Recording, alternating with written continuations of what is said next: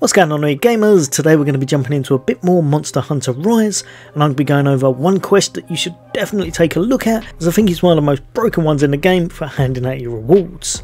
So if that interests you, stay tuned. Let's come up next.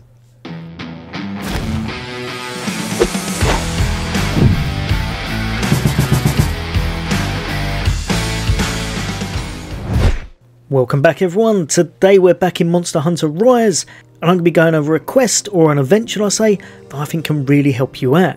This is going to be absolutely amazing if you can manage to do this early game it's going to set you up and prepare you for everything you've got to tackle throughout the game and even if you're further into the game it may well be something you want to look at in order to gear yourself up.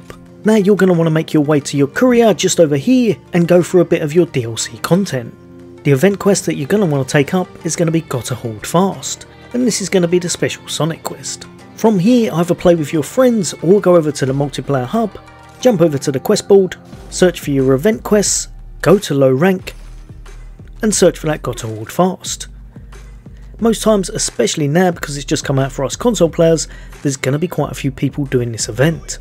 Once you jump in, don't worry about grabbing resources, don't worry about going in your tent, you don't need any of that. This is the easiest event going, you've just got to collect 200 rings, and most times there's quite a few people helping, so it's a lot easier than it sounds. As you can see here, I'm not even gathering any because people have already grabbed most of the ones that I'm going in the direction of, but just try and grab as many as you can in order to help the team out.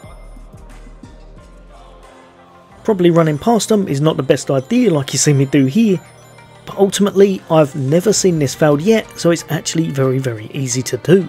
Now the great thing about this, as long as you're completing it in a timely fashion, I've always completed it under 2 minutes, you're going to get some great rewards. These can include armor spheres, golden eggs that are worth 20k each, two rings that we'll go over a little bit later what they're used for, and some other goodies that can really help you out, especially if you're trying to gear up, such as things like honey that you can use for your mega medicine. However, the reason I think this is probably one of the most broken quests, one, for that golden egg, 20k a pop, and you can complete this within about a minute and a half, is absolutely ridiculous, but other than that, it's going to be because of how many times you're completing a quest when people are putting those thumbs up likes. This is absolutely massive, and can mean that you can obtain rewards much faster than you generally would have.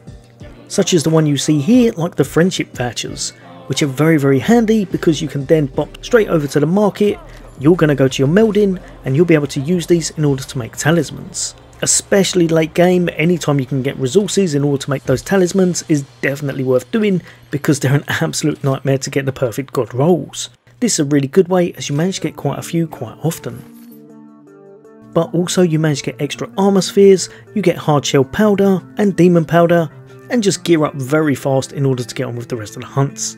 Also, the icing on the cake if you haven't actually unlocked this yet, like I said earlier, those rings, you're going to be able to use them, go to your Buddy Smith, go over to your Palicos, and from here you're going to go straight to your layered armour, head into special, and here you'll be able to unlock the costume for your buddy that will turn him into Sonic. Looks awesome, is awesome, and this is just a great quest in order to gear up, farm a load of money, and get a lot of resources in order to crack on with the rest of the game.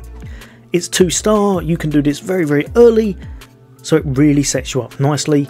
But like I said, even if you want to do it just farm a bit of resources later on, you can definitely jump in for that as well. Right you gamers, hopefully that's helped a few of you guys and girls out. For all the latest gaming content, as always take care, I'll see you on the next day.